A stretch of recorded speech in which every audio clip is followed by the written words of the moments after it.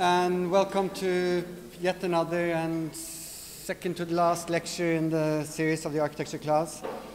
Uh, I'm delighted to uh, make a short introduction for um, Liam Young, our guest tonight. And uh, first of all, Liam, thank you so much also for being with us and for uh, sitting through and contributing to the review of the first group's work today. Um, that was very exciting. Um, obviously, Liam presumably doesn't need very much of an introduction. I think the, um, his, his work is um, known. That should um, the number of people here tells me that. Um, Liam started out uh, basically with a very normal architectural um, background. He studied, uh, he did his bachelor and his master at the Queensland University in, uh, in Australia. Was in 2002 he finished the master. Um, you won a prize for it, also for technology and a Dean's Prize, I believe. He, um, and he has worked in offices, um, amongst them lab architects in um, Australia with presumably Don Bates, and uh, at Zaha Hadid Architects. And then at one point he um, did not leave architecture, but basically instead of designing buildings, started to look at cities and make, amongst other things, films. He has written books since then. Um, he has been the co-curator of the Lisbon Biennale in, in Port, uh, Architectural Biennale in Portugal. Um, his work has been collected by um, both the Victoria and Albert and Museum of Modern Art. He appears uh, everywhere in the world for lectures, talks at uh, various uh, festivals. And the work, of course, has much to do with um, technology, but it also has to do with the vision of the city, a um, speculation um, on future urbanisms. And it was also, um, uh, I suppose, uh, anchored in two important moments in 2008, both of them, where he founded uh, the think tank Tomorrow's Thoughts Today, and then also the Unknown Fields Division, which is a, um, called a nomadic design studio. I believe it's sometimes part of the AA visiting um, uh, program, where um, school where um, Liam is also the coordinator for this. And just to give you a taste, um, and you might know this, but still, let me read that the, with the unknown fields, um, he has developed research projects through expeditions from the Ecuadorian Amazon and the Galapagos Islands to the far north Alaska, the mining landscapes of the Australia outback, the Chernobyl exclusion zone, Baikonur Cosmodrome in Kazakhstan, the rare earth mines of remote China. They have been aboard the container ships of global supply chains and the endangered ecologies of Madagascar. And through these excursions, of course, um, I do not know precisely what the research reveals, but obviously it fuels a speculation that has caught attention worldwide. Uh, Liam has been um, called amongst the 25 most important people for the future of architecture by Blueprint magazine. He um, has appeared in all numerous magazines and newspapers for his work. He consults, he runs workshops, and he produces, um, like I have already said, mentioned, um, wonderful movies. I think one of the last ones was um, done with using drones and cameras traveling through the city and uh, producing um, internet, um, uh, its own internet um, network. So, and part of this, um, part of this research and part of these speculations also take place in academic institutions. Uh, he is a um, visiting professor at Princeton University. Uh, he teaches at the AA, and not the least also he then runs um, one of the postgraduate studios at SCI-Arc, um, in, where he's a colleague, of course, of both David Ruy and, and um, Peter Trummer. Um, we're delighted to have you here, Liam, and thank you so much for taking the time. Please welcome.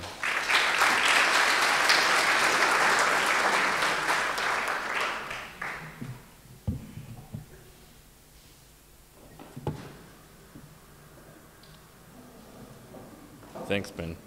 Um, uh, can you hear me on the mic all right? Is that coming through? Test one, test, test.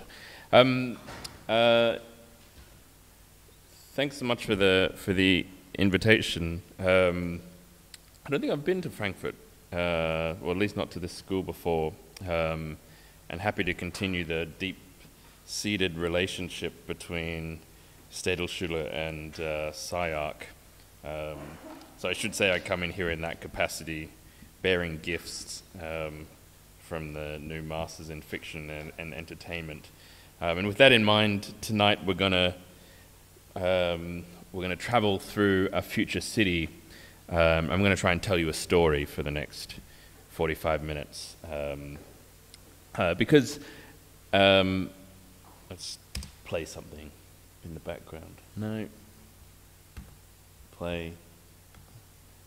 Yeah, classy. Um, so, uh, as Johan mentioned, I'm uh, what I like to describe as a speculative architect, which means I don't design buildings, but instead I work between documentary and fiction to tell stories about the architectural, urban, and global implications of emerging technologies.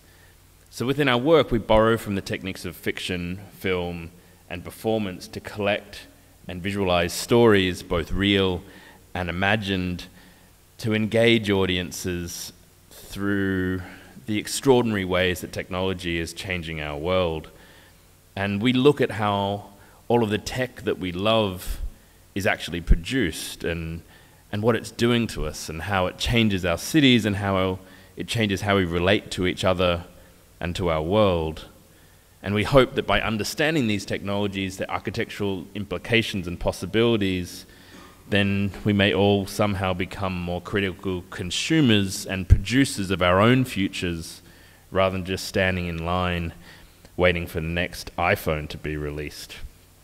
So it's this idea of exploring alternative worlds as a means to understand our own world in new ways or the idea of designing and exploring architecture as a process of world building that we try and do um, through the work to try and engage in these critical issues that are changing cities. So, the project behind me right now is one we just launched last month at Documenta in Athens, where we used fiction as a space in which to prototype the lives of a future Athens apartment block not as a form of prediction about what might happen or, or what the city might look like in 30 years' time, but rather as a mechanism through which to reframe some of the issues of the present, or at least to make visible some of the tensions that uh, simmer below the surface. So, with that in mind, what I'm going to do tonight is not talk about a series of buildings, but rather I'm going to tell you a story about a city of digital technologies, a city of the future, but also a city that in many ways is actually already here. Because we're really interested in the work in this idea that fiction is this extraordinary shared language and it's a vehicle through which our culture shares and disseminates ideas. And I also believe it's one of the ways that architects can play a much more active role in thinking about what new technologies may mean for the spaces, buildings, and cities we all live in. And in a way, it's a, it's a way of circumventing the extremely slow process of making buildings and presenting ideas to a more general audience um, in a form that they might actually understand and care about. So tonight, we're all going to take a seat in the back of a driverless taxi and we're going to go on a tour through a near future smart city. So we're interested in this term smart city that us architects use. It's a term that we use to describe all the ways that technologies are changing our world.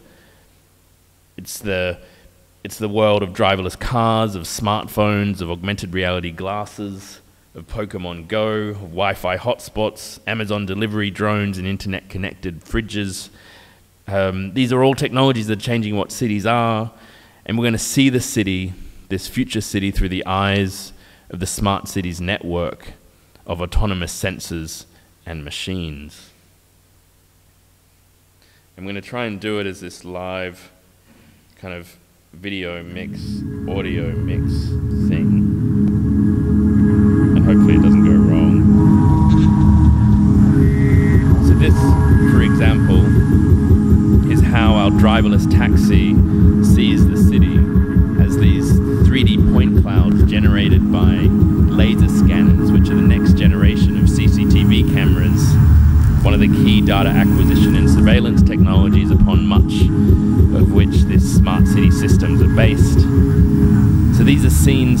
Science fiction we've made called Where the City Can't See, which is the first narrative film shot entirely using this laser scanning technology.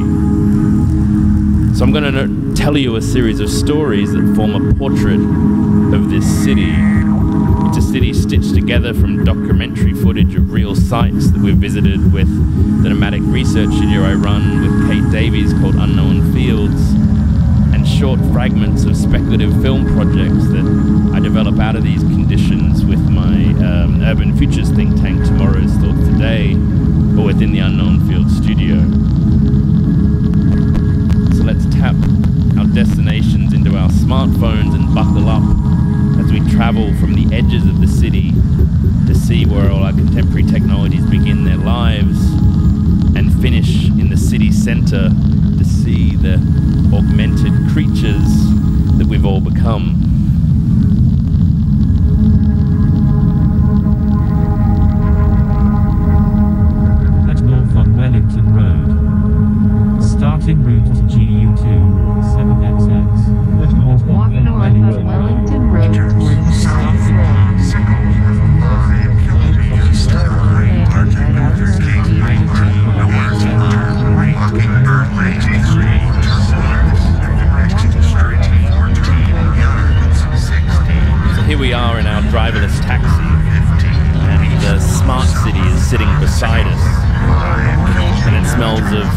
Hard drives, fiber optics, Red Bull soda.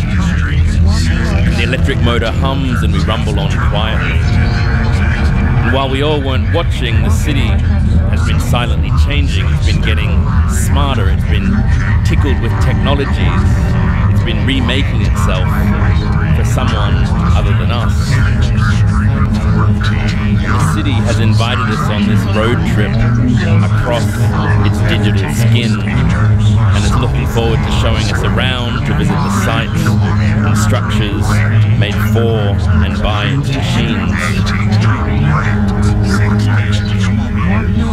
And the city leans in. Sorry, it's just business, the city whispers apologetically. City has invited us on this road trip across its digital skin. It's looking forward to showing us around, to visit the sites and structures that are so much a part of our lives, that make our worlds tick, and our mobile phones buzz and vibrate. And we'll travel across these sites to, to see landscapes in which we perhaps no longer belong. We'll trace their glitches, anomalies, and we'll see where the digital bubbles to the surface to condense into the landscapes, architectures, and natures of our impending smart city.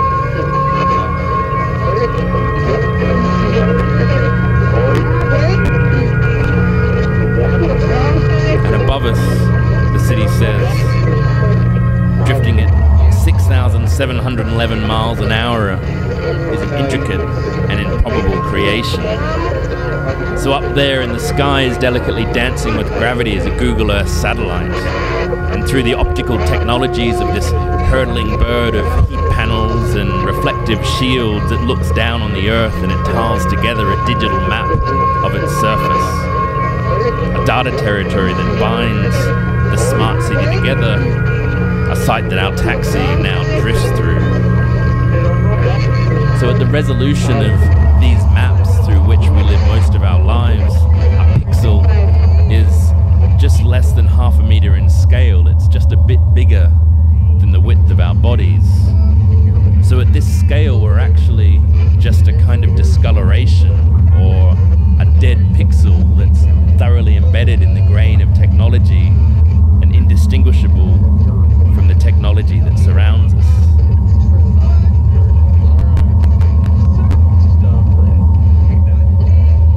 And we keep driving through the point cloud mist, and the city points out a structure out the, out the window. And in the distance, we can see the tracery of markings that are scored across its surface.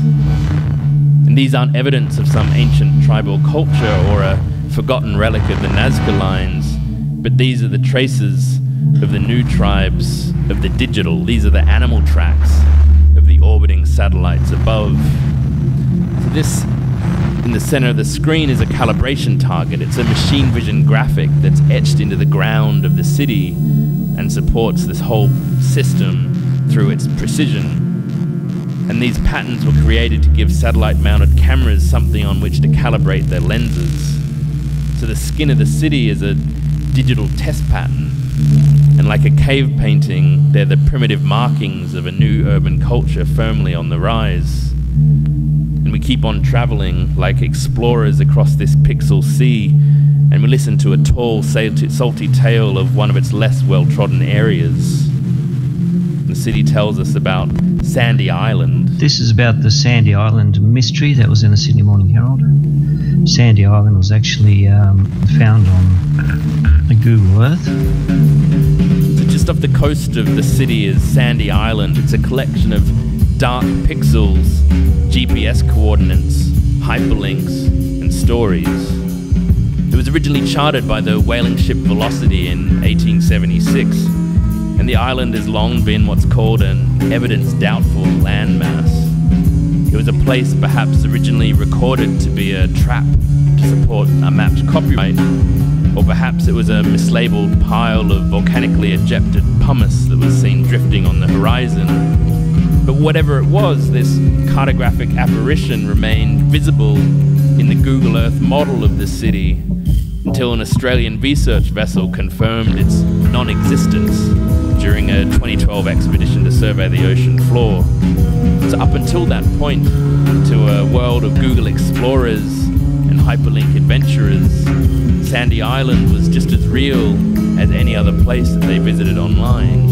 And it's a place, it's an architecture, it's a landscape that raises the question that if the places and spaces that we inhabit exist solely through the mediums in which we experience them, then become, perhaps they become just as real as any other physical place that might exist anywhere else in the world. So it suggests an architecture of GPS points, of point clouds, of information with no physical footprint. That's north on Wellington. And in a way, this type of architecture to constitutes our new city. So the smart city operates on this strange one-to-one digital model of the world, and the pixel is the territory, and the driverless car is our vessel, and the city turns to us and smiles with a grin of Cerberus, silica. And like early web crawlers, we now traverse the city and its streets, and we're collecting data and we're feeding the city because, just like Google, the smart city uses driverless cars to ground truth its maps and correlate the data from the satellites glinting above. And our car is scanning the landscape and it shoots out this laser at a million times a second, reflecting off the world and rendering it as a point cloud. And in a way, this is how our technologies see the smart city. This is the view from an autonomous drone that's drifting above us. So, in machine vision systems, uh, fiducial is what we call a recognizable marker that's placed in the environment that's used for calibration and navigation.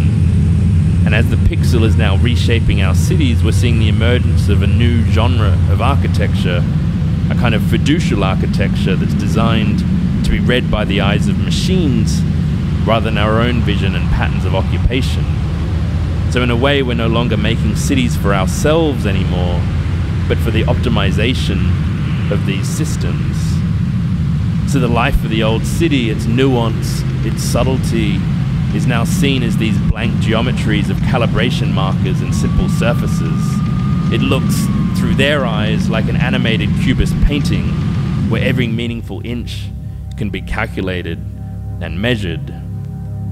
And as we keep on driving, we move through a landscape where all these technologies began. We drift through Chile and Bolivia, past the evaporation ponds of the world's largest lithium mines.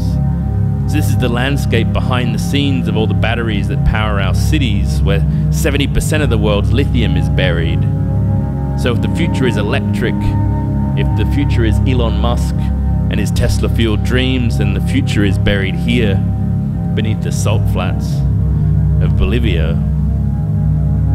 And as we keep on driving, we see through the point clouds another cavernous landscape of our ephemeral technologies.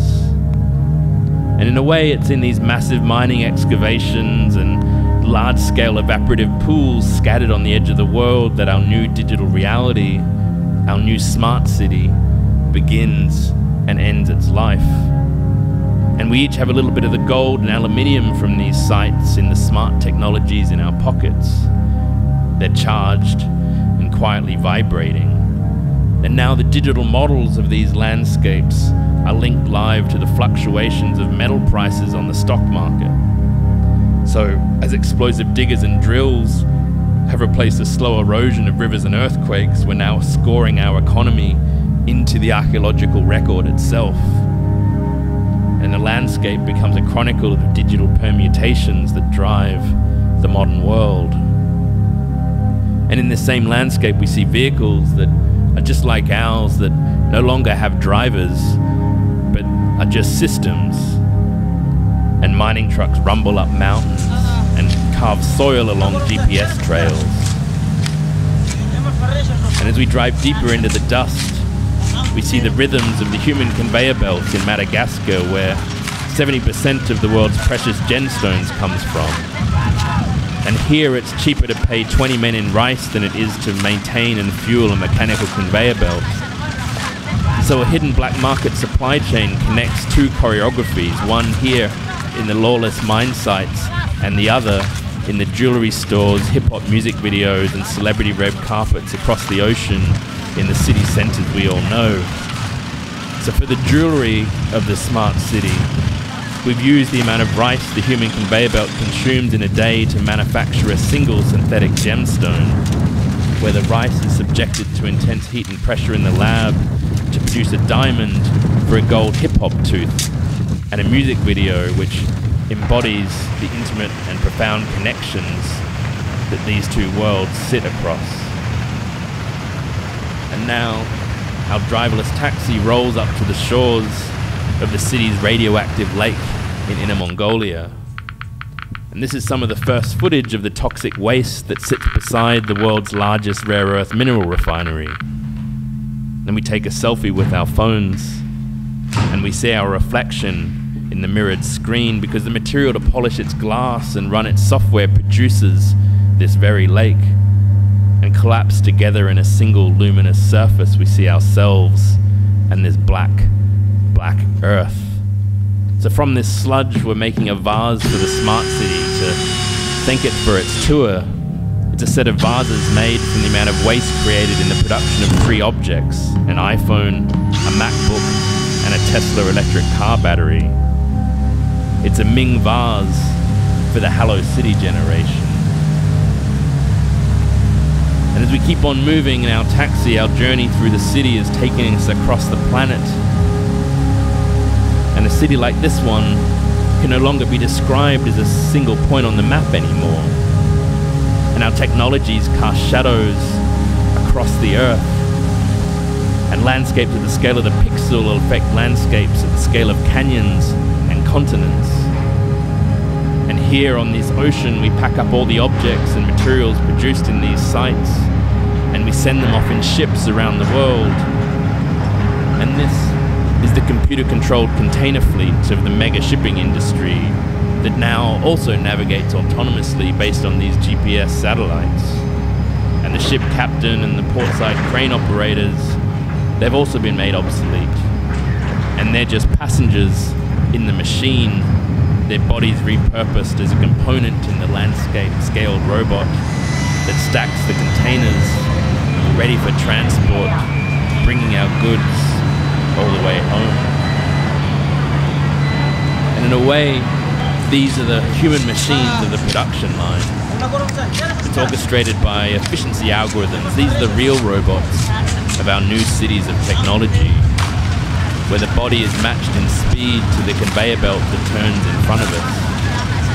So in many ways, this is us in the smart city, where every meaningful moment can somehow be counted and measured.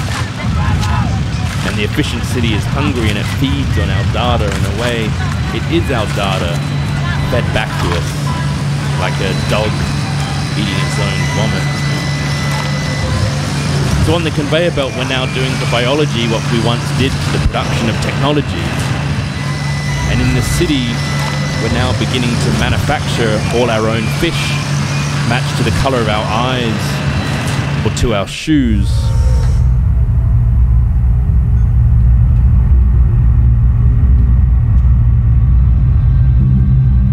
My mother used to tell me that I had the most beautiful eyes. I liked hearing. I like it when people look into my eyes, when they stare at them. Royal blue with an amber halo.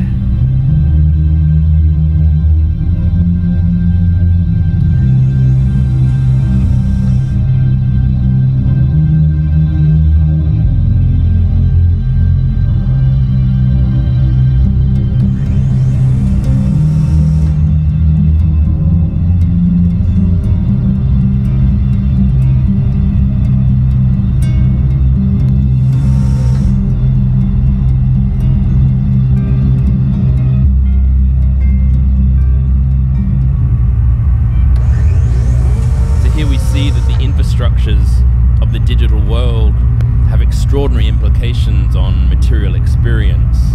So these are the physical architectures behind the screen and beyond the fog of the smart city cloud. These are the physical outputs of our digital engagement with the world.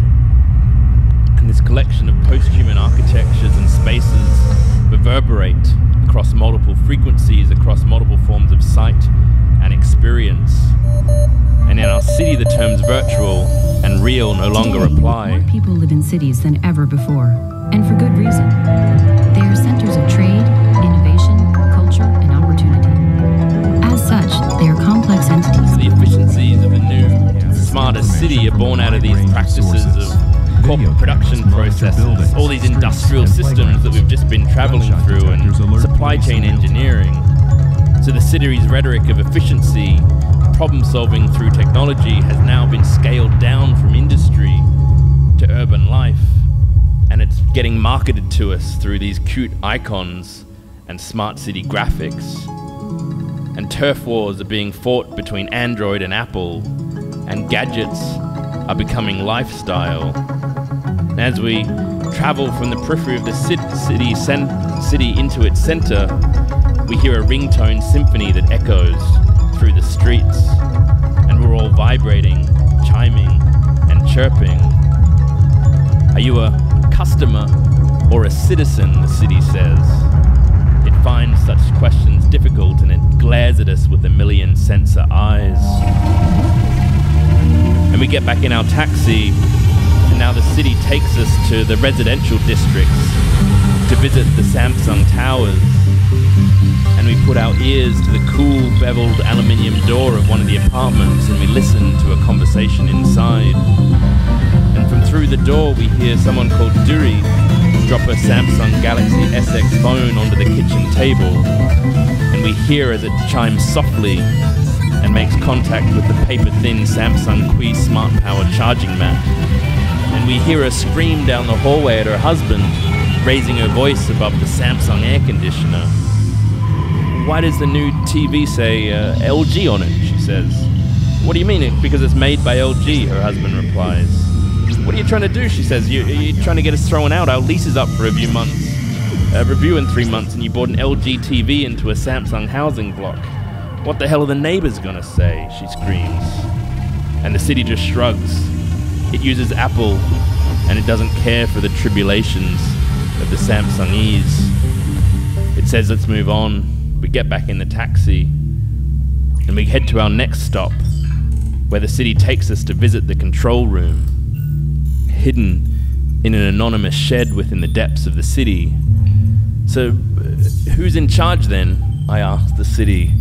Why, you are, of course, says the smart city excitedly. And that's the rhetoric that all these technologies are based around.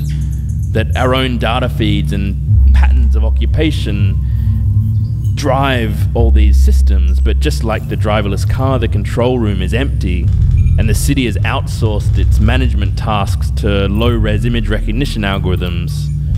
And a citywide data set is fed by countless sensors, cameras, and satellites, and is translated into the server stacks, and ultimately into the complexities of urban life. So the city that was once publicly elected now disappears into the fog of the cloud and is managed by tech companies and proprietary software systems. Have you met Lena? The city says. Here she is, she's from 1972 Swedish Playboy, and she works here in the control room of the city. Selena is the face that was used to define the early training set for every facial recognition algorithm that the world now uses.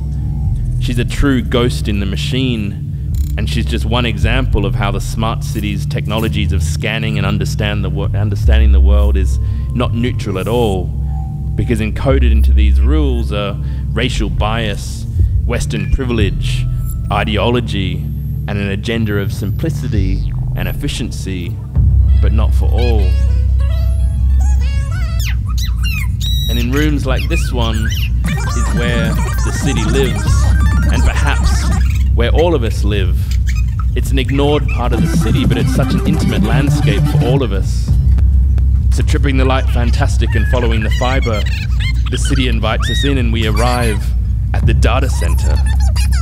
This is the landscape of everything. All of our shitty, inane YouTube videos, all our chatter, our hopes, dreams, desires, and darkest fears are here. And the electric car motor has given way to the whir of cooling fans.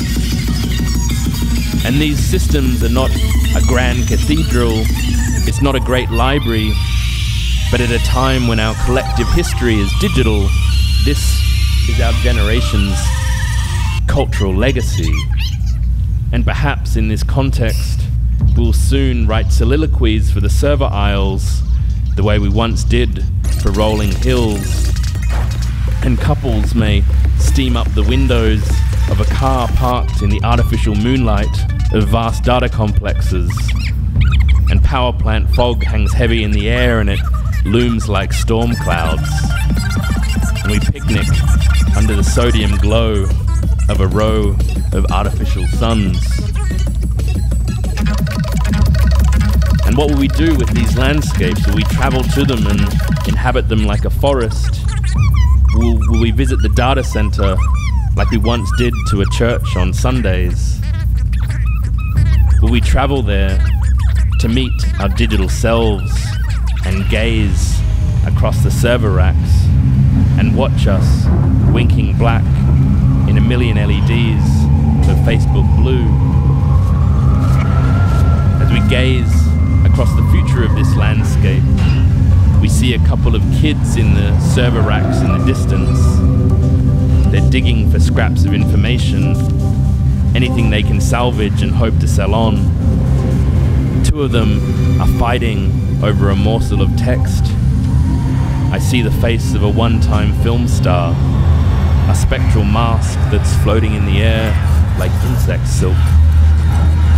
And looking back, we can see the city's skyline, and we see ghosts of data rising from the outer regions. So many flickers of light, dots of color, notes of music, images, words, and fragments, all drifting towards the vast, shining towers of the central zone and the financial district, and the industrial landscapes from which we've become.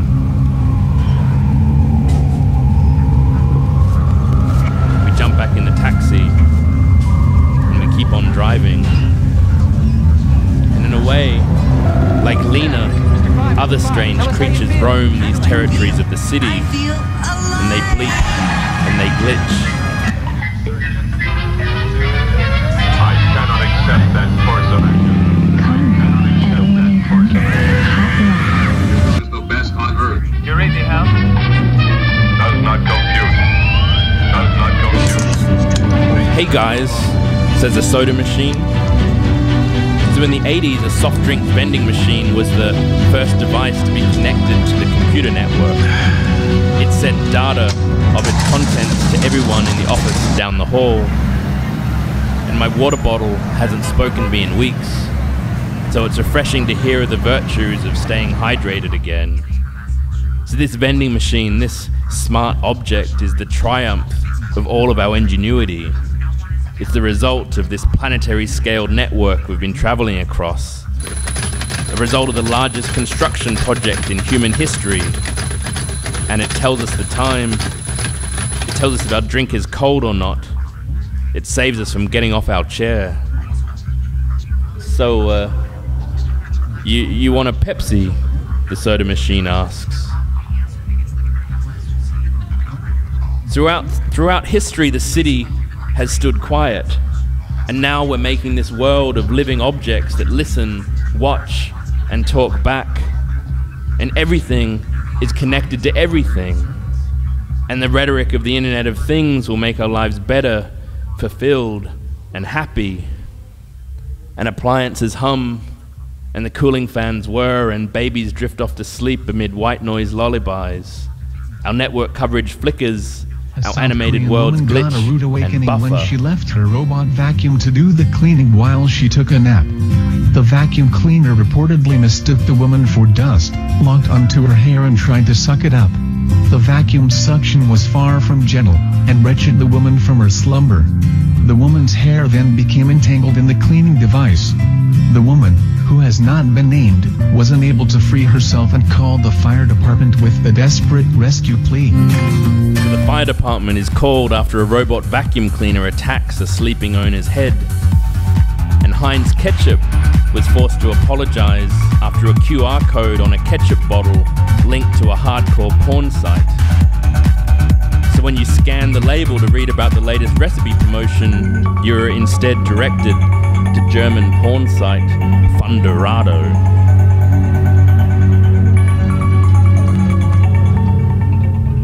And as we leave the living creatures of the smart city behind, we look up, and drifting above us in this sea of neon haze, we see that drones, other connected smart creatures, have become as ubiquitous as pigeons.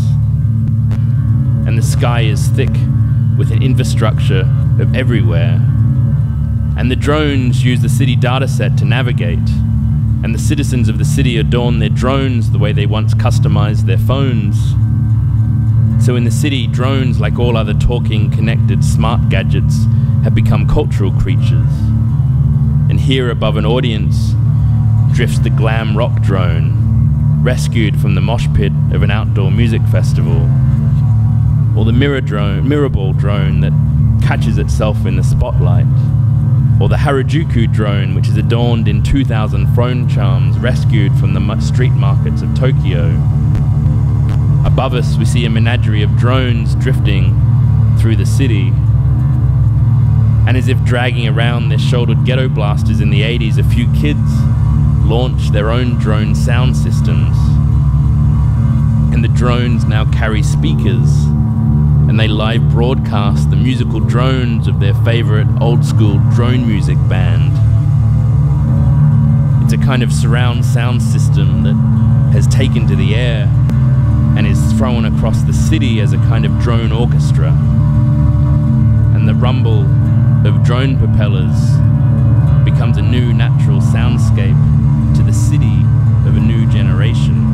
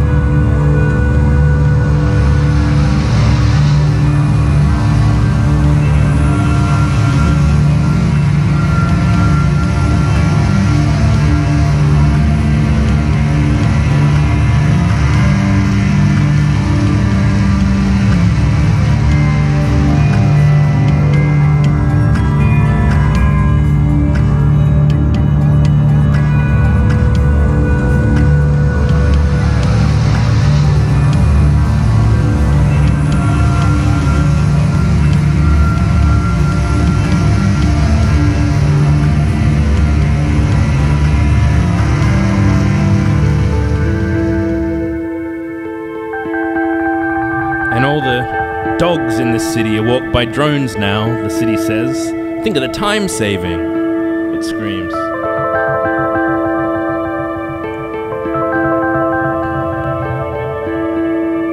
And now, a network of drones also monitor, monitor the wayward youth of a London council estate. And through their eyes, we watch as a young girl has hacked and decorated her own drone and uses it to pass notes to her boyfriend trapped in the tower opposite. And like kids in an old fashioned classroom, they scribble notes on the drone like old school graffiti taggers, and they send the drone back and forth between the tower. So, in this near future city, drones form both agents of state surveillance, but also become co opted as the aerial vehicles through which two teens might fall in love.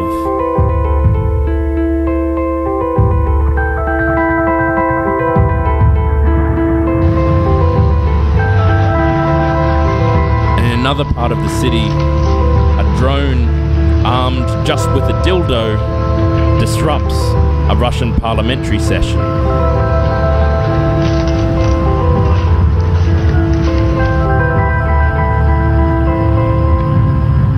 Another zips overhead en route to attack a village in a country half a world away.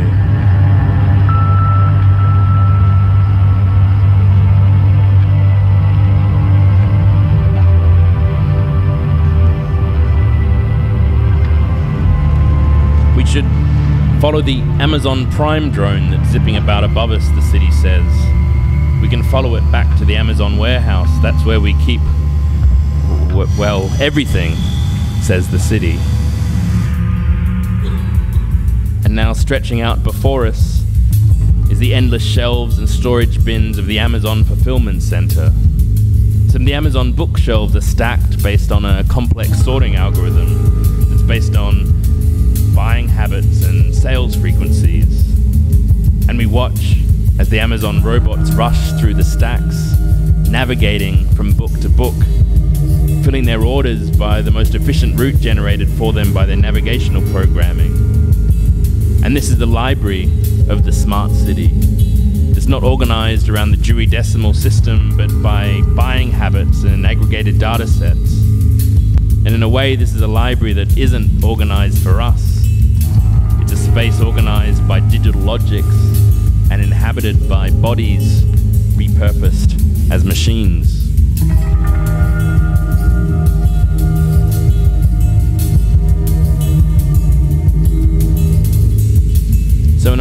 This is the physical world that we're left with when everything disappears into the lens of Google Glass or Oculus Rift.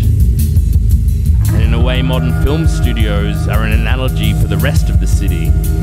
A new kind of architecture, a new type of ornament that's based on calibration crosshairs and targets, stripped back to become the scaffolds and infrastructure for a digitally constructed world an architecture that is lying in wait, ready for the premiere of a million animated movies that will illuminate its surface with color and detail. And the city is filled with the digital confetti of our desired worlds projected just for us. This is the future that the smart city promised us.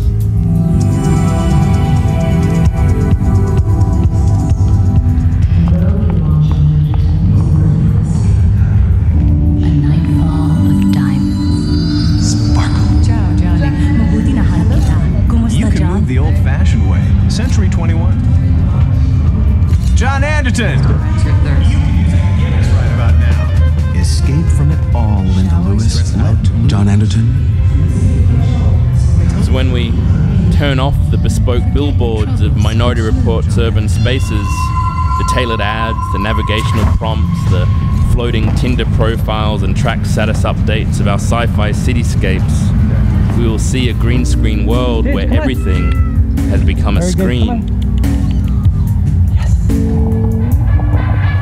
And a YouTube cat video viral bursts from the screen and and in the eyes of Google Glass holes that now skates across the living room floor. And the digital ephemera of the internet, the crap of YouTube now fills our physical spaces. Rising now, right now, Shauna, we're next to the Santa Clara River, and, And an empty room now fills with the flood of a newscast broadcasting the details of the latest tsunami that's crashed up on the shores across the ocean. What was once trapped on our screens now fills the world, and we inhabit our own pixel dreams.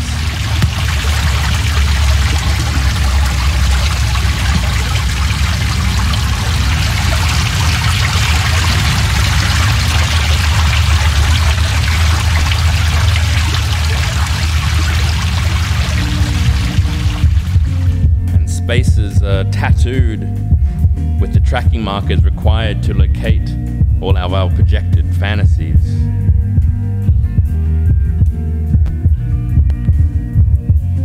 We get back in our car, the driverless taxi rumbles on.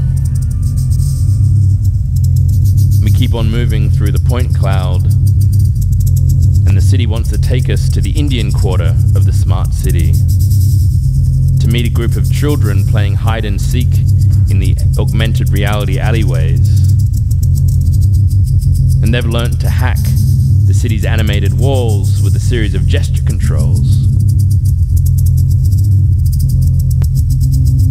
And just like their Xbox Kinect Play, they engage with the city with the exaggerated movements of a silent movie.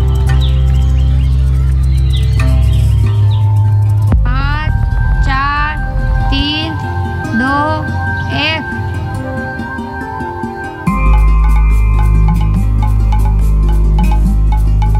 सब लोग चुप जाओ मैं आ रही हूँ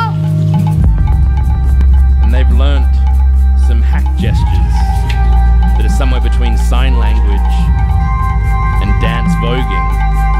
And they subvert the city through their play. They hack the city interface to open up its hidden service spaces and its subterranean forest power plant that's normally invisible behind the animated walls of the city.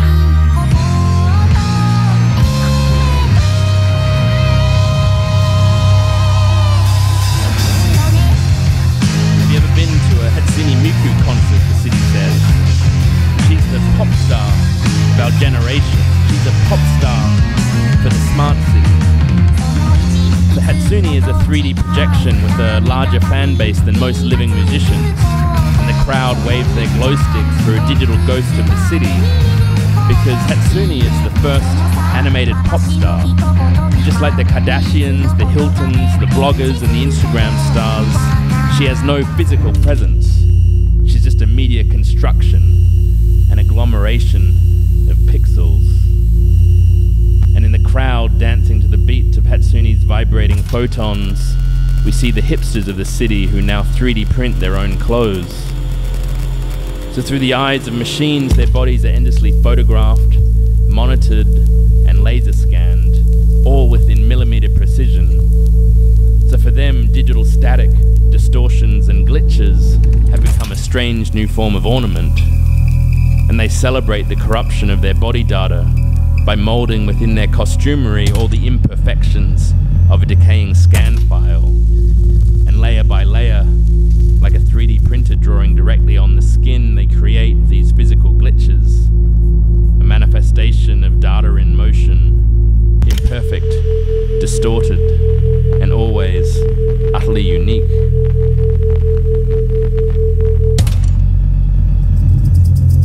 And in a way, what we're beginning to see is that these new forms of technology generate new forms of subculture. And people rally around the loopholes in the algorithm, and groups organize around and through technology.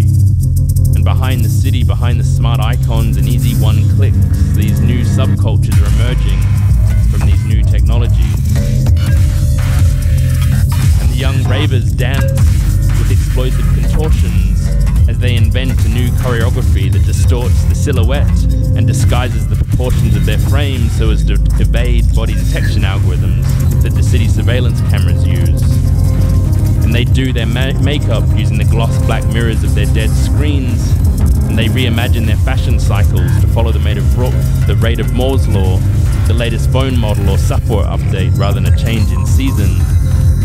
And they develop new camouflage textiles, a new hoodie that's designed to be invisible to the scanning technologies of the smart city. And the iridescent textiles reflect the light of CCTV laser scanners, creating exuberant glitches and distortions in the dataset. And they hack the city, searching for the wilds beyond the machine.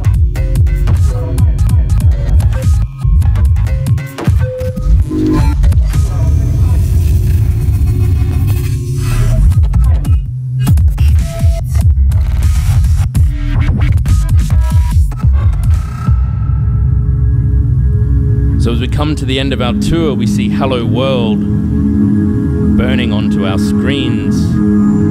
A Hello World program is a computer program that outputs Hello World onto some kind of display system. It's a super simple program that's used to verify that a language or system is operating correctly. It's the first words spoken to us by a new software system. And it announces itself it tells us that everything is going to be just fine. Smart city, though, never gave us this warning. It never said hello. It's already here, and the Apple Store queue is starting to move. And we aren't sure how it got here, but we certainly aren't going to let it leave. It's just too seductive, too shiny, and too easy. And the services that were once public are now managed by the city. But after our tour, we're left asking the city just who is this place for? Because the smart city is not neutral, it's not universal, but fraught with the same contradictions as ourselves.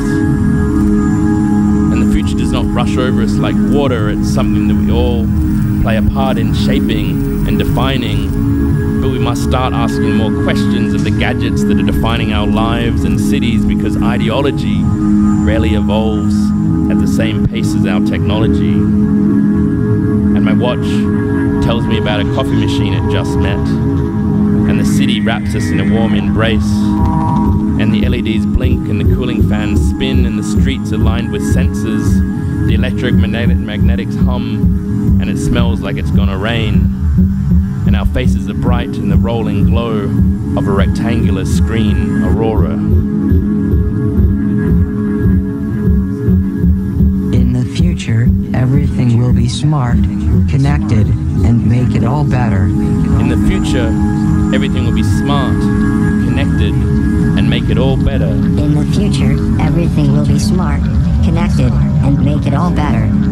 In the future, everything will be smart, connected, and make it all better. In the future, everything will be smart, connected, and make it all better. In the future, everything will be smart, connected, and make it all better. In the future, everything will be smart, connected, and make it all better. In the future, everything will be smart, connected, and make it all better. In the future, everything will be smart, connected, and make it all better.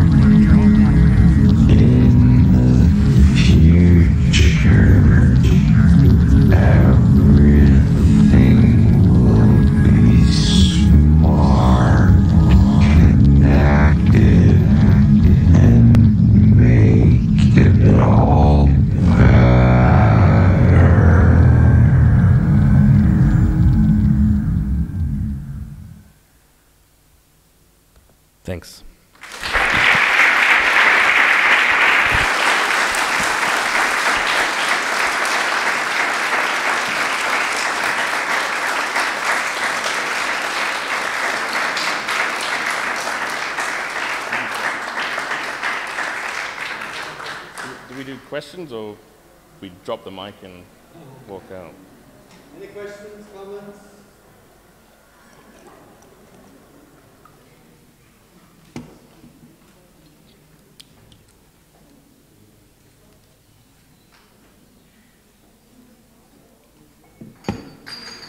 Yeah, I have a, I have a quick one. Yeah, so am I completely off the off track if I ask you the following? Do you think of your work in any sense in terms of uh, pessimism or perhaps actually opposite? Um, uh, yeah, totally off the mark, man.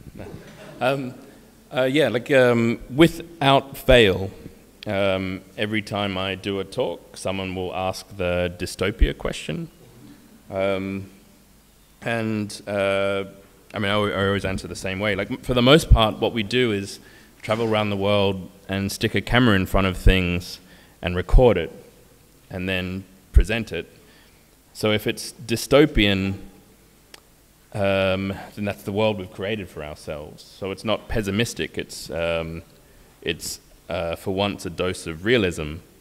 Um, because what we try and do with the with the work, with the stories we tell, is really trying to um, to redress the balance. Because the dominant narrative presented to us in the media by, about these technologies is a solutionist one, right? Like they're going to make the world better. They're going to be great. Climate change, don't worry about it. We got it covered. Um, uh, you're sick, it's all right. We have a cure. Um, uh, oh, there's poor people, it's all right. Um, uh, we've got mobile phones.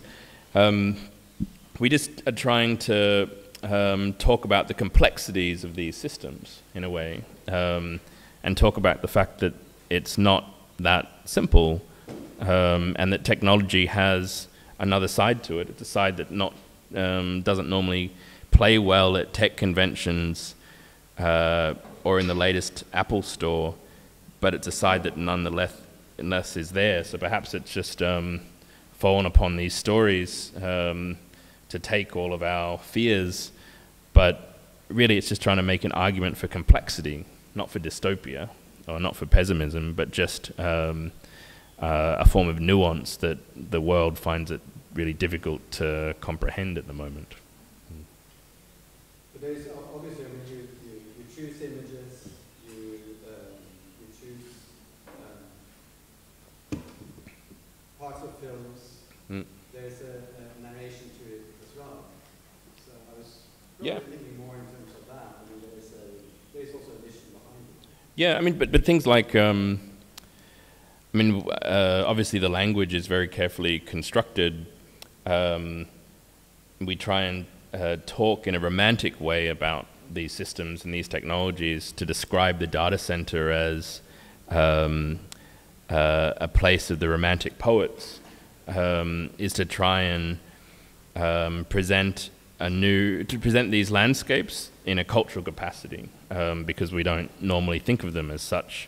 But um, uh, you know, we could present um, a series of images um, just like Elon Musk does, right? We could we could present a hopeful utopian future where in 20 years the world's all going to be powered by solar cells, and on the roofs of all these buildings is going to be little kind of milk cartons filled with baby tomatoes growing for us. Um, but that vision um, doesn't talk about um, the other conditions that are required in order to make that thing come true, right? Like, so we traveled to Lithium Bolivia, Kate and I, with Unknown Fields, just after Elon Musk launched his new Powerwall battery and proclaimed, proclaimed his vision for the future, which was going to be this solar powered green utopia.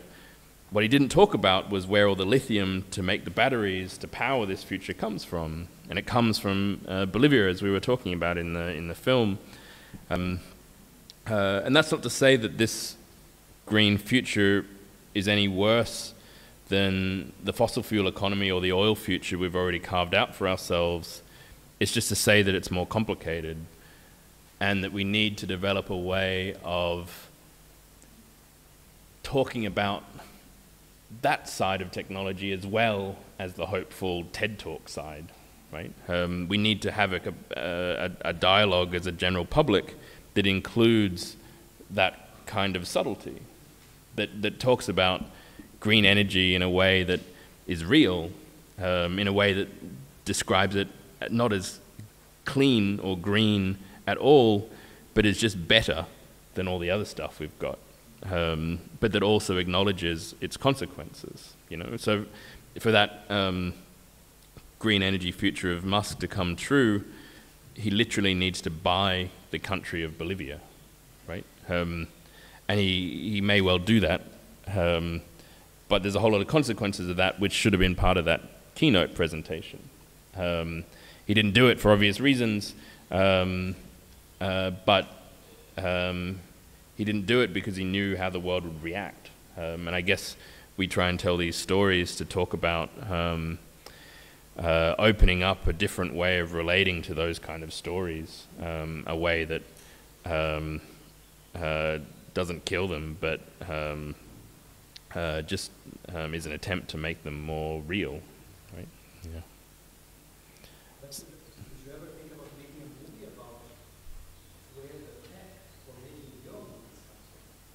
Um, yeah, we yeah we, we, we've done that one. It, it's uh, it kind of eats its own tail in a way, right? Um, I mean, we went to Madagascar. Um, we snuck cameras into a to a nickel mine. Um, that's this blood red dirt stain carved out of the precious, most precious rainforest on the planet. Um, and we sat there almost with a tear in our eye describing you know, how impossible it was that anyone could possibly do this to this landscape. Um, and as we are talking, we always have a guide with us, like the, the company rep, um, that's, uh, that's you know, telling us the propaganda campaign.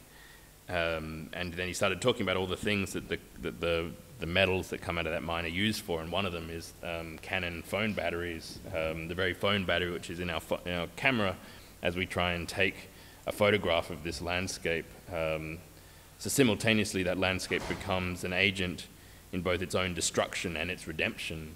Um, so the ironies of, of, of that isn't lost on us. I mean, we, we shot um, the toxic waste lake in Inner Mongolia with iPhones that produce that same lake, and that's part of the story, right? Is that we bring our technologies to that site. Um, we fix our hair in the mirrored screens that it that very site polishes, so we can stand on camera and um, present it to the world. Um, it's just one of the great ironies of um, uh, contemporary existence, really. Um, uh, but neither are we anti-technology, right? Like it's not to say we should have gone there in straw hats and Hessian clothes um, and scribbled in charcoal on cave walls to describe that site. It's just to say that um, uh, you know we're, we're all complicit in it, and we are as well, right? Like, um, uh, but so are you and everyone else in the room.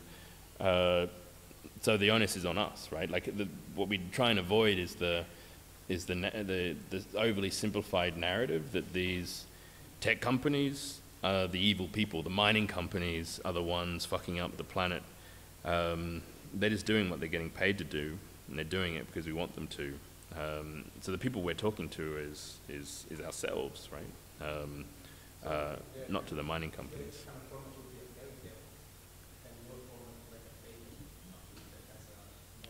Yeah, yeah. I mean, I guess, and what, that's what we do at SCI-Arc in, in fiction entertainment. We try and, like a Trojan horse, occupy these mediums of popular culture and entertainment with stories that somehow are meaningful.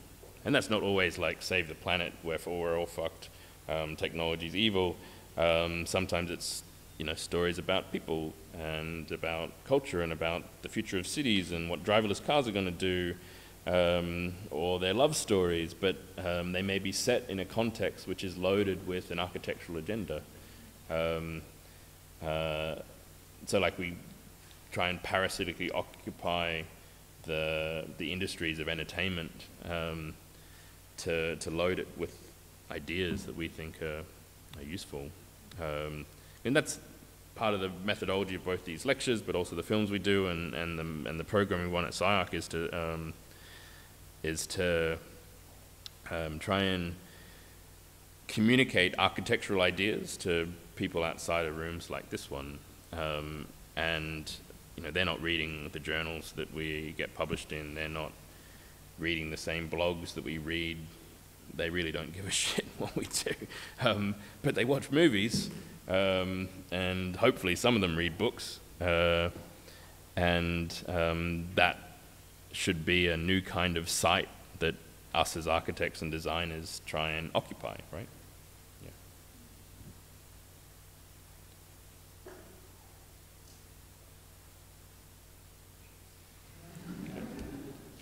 Thanks. Oh.